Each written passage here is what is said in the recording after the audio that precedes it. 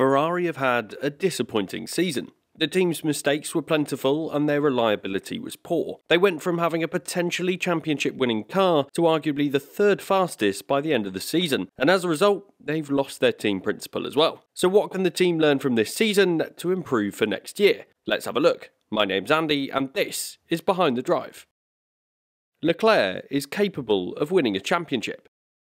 This year was Leclerc's first opportunity to compete for a world championship. Since he moved to Ferrari in 2019, he's challenged for a few wins, but with the power unit challenges the team faced in 2020 and 2021, the team has been uncompetitive on the whole. The new aerodynamic regulations produced a chance for Ferrari and Leclerc to get back to the top. The team had more aerodynamic testing time in 2021 based on their performance in 2020, and they maximised that opportunity to produce one of, if not the best car at the beginning of the season. Leclerc was pivotal in this. He was the driver leading the charge for Ferrari, and his on track battles with Verstappen through the first half of the season were awesome to watch. With Verstappen's early troubles, Leclerc was actually leading the championship for a significant chunk of the 2022 season, and for me, I think we've seen that Leclerc is definitely capable of winning a world championship. To do that, though, I think two things need to change. Firstly, the worrying statistic associated with Leclerc's career is the fact that he's achieved 18 pole positions but just 5 race wins. That pole conversion rate is just 28%, and there have been several factors that have contributed to this, including the fact that the Ferrari car was dominant over one lap this year but struggled in the races with tyre wear. But fundamentally, Leclerc needs to start converting those pole positions into race wins. The other key thing that Leclerc will need to change is his management of the team. The Ferrari strategies this year were nothing short of abysmal, and that is something that we'll absolutely be talking about more later in this video. But Leclerc's ability to look around him in the race from a tactical perspective is somewhat lacking compared to his teammate. So often, Carlos Sainz called the team out on the radio to dictate the strategy based on what he had seen, and that's something that Leclerc failed to display on several occasions this year. I think this is a skill that he can develop, and he will need to if he wants to maintain a championship bid in the future. Leclerc's one key strength this year was his consistency. We've seen with Verstappen over the last few seasons that this is one of the most critical skills needed to become a world champion. The Dutchman has reduced his mistakes and in 2021 in particular, he so rarely made unforced errors. When you're close in a championship fight, you have to avoid these types of mistakes, and I think Leclerc did well this year to avoid them with the exception of his error in France. On the whole, it was more the team that let Leclerc down than the other way round. So for me, I think Leclerc has shown enough this year that he is capable of winning a world championship. I think he's definitely capable of developing the skills needed to support the team in their strategy decisions, and with a new boss at the helm, that could change in the future as well. So it's a green box for Charles Leclerc. The Ferrari concept was difficult to develop. The Ferrari car was the best at the beginning of the season. Their concept was significantly different to the Red Bull, and they were particularly fast over a single lap. I even made a video talking about the fact that the Ferrari was the best car this season, a video that still gets regular comments telling me how wrong I was. But at the time, the car was very fast, though with new regulations comes a development race. Not only does your concept need to be fast out of the box, but it also must be something that the teams can develop and make changes to and progress. Early on in the new aero regulations, the potential development gains are significant, and it was Red Bull and Mercedes that firmly won those races this year. Ferrari, on the other hand, struggled to bring developments in the season. In November, Binotto revealed the fact that the team had to stop developing their car earlier than planned due to budget constraints. To me, this says that they've made two mistakes. First, they didn't have a long term plan for their car design at the beginning of the season, something that often teams try to build into their plans. In addition, they also made a mistake in terms of budget management. This year, the budget management was more challenging, with the state of global inflation meaning there was more pressure on the budget set for things such as freight and shipping costs. As a result, the development budgets for the teams will have been put under pressure. But for me, I think the Ferrari team clearly made mistakes compared to their rivals this season. It could have been the car's development path or it could have been the budget issues. But this year, I think there was a clear error on their part, so I think the development challenges deserve an amber box this season. The team principal conveyor belt rolls on. A key event for Ferrari after the end of this season is the fact that Mattia Binotto, the Ferrari team principal, has moved on from his role after four seasons in the position. During this time, Binotto has achieved some success. His time as the technical officer before he stepped into the team principal role was strong, and he's clearly got a strong technical mind and developed some great cars during that time. Therefore, it was always a doubt moving him away from the technical position into the team management role, particularly considering his previous role wasn't even replaced.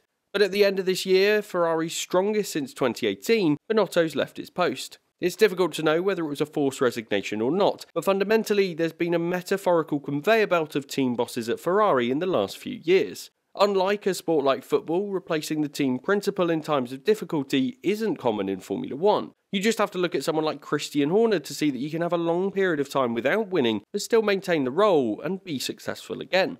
What this results in is leaders that are able to develop their own team culture and build for longer term success. A Ferrari with bosses that are able to stay just for a few seasons, it's more difficult to create that kind of environment. There's clearly a lot of pressure on these bosses to deliver the team's first World Championship since 2008, and for me, I don't think that's the best environment to create for the team. In my opinion, while there were clearly challenges for Ferrari this year from a reliability and strategy perspective, there will also be some positives to take. The fact that they developed such a strong car is great, and the fact that they've got a strong driver pairing at the team was beneficial this year as well. It's impossible to be successful in Formula One overnight, and the likes of Mercedes and Red Bull have set the bar incredibly high for success in this sport. So, the new team boss will need to get up to speed quickly to continue the team's positive trajectory and solve the problems that have been exposed in 2022.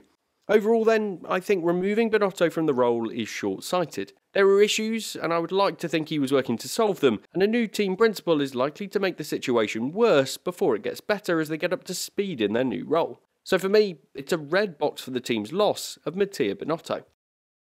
Reliability issues cost Ferrari.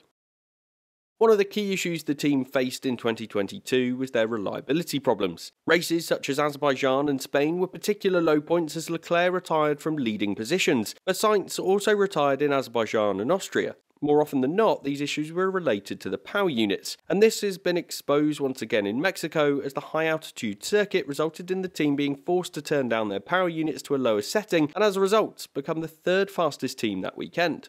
This year, the power unit regulations have been frozen until the new designs are developed for 2026. This means that the only updates Ferrari can bring to their engine are reliability related parts, something that is clearly a requirement for the current power unit that the team have. Perhaps they'd taken advantage of the remaining time that they had to develop the power unit in terms of speed, and then they thought that they would focus on the reliability later, much like Renault have done.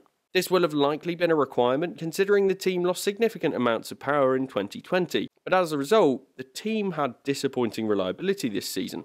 And that meant that their championship fight fell flat after a promising start in 2022. This was one of the key reasons for the team's failure this season, and I wonder if they'll be able to solve these challenges going into 2023 and beyond. If the team wants to challenge for championships between now and 2026, the team will need to solve these issues. So for me, it's a red box for the team's power unit performance this season. A strategic disaster show. The final element of the team's challenging 2022 season that I want to discuss in this video is a topic that I've touched on several times already. The team's strategic errors were clear and obvious throughout this season. The first of several mistakes from the team came at Monaco, particularly for Leclerc as his pole position would only be converted to fourth position at the end as he was on the wrong tyres at the wrong time and ended up with a two lap stint on the intermediates, losing significant amounts of time in the process. To add insult to injury, the team then double stacked, costing Leclerc even more time. Other strategic blunders include Silverstone, where Leclerc wasn't pitted towards the end, leaving him vulnerable at the end. And then he got Hungary, where Leclerc was put onto the hard compound tyres, which left him vulnerable to Verstappen. That weekend, the Ferrari team converted a second and third on the start line to fourth and sixth at the finish. A thoroughly disappointing performance. These were part of a much longer list of mistakes from the team throughout 2022, and it wasn't all that new. The team have been critiqued for their strategic errors for several years now. Fundamentally, the team haven't learned from their own mistakes in the past, and don't seem to be learning now either. It seems like the team makes significantly more mistakes than the others around them, and perhaps the changes at the top will help this, but time will have to tell on that one. For now, though, of course, it's got to be a red box for the team's strategic performances in 2022. So there's my 5 things Ferrari learned from the 2022 season. Let me know what I missed and make sure to watch my video on the 5 things Mercedes learned from this season next.